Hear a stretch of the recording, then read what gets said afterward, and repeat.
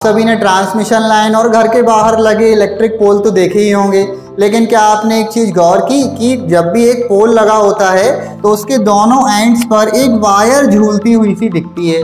ये वायर क्या होती है? इस वायर को कहते हैं जंपर वायर ये वायर करती क्या है दोस्तों? ये वायर करंट को एक सिरे से दूसरे सिरे one point to another point jump कराती है।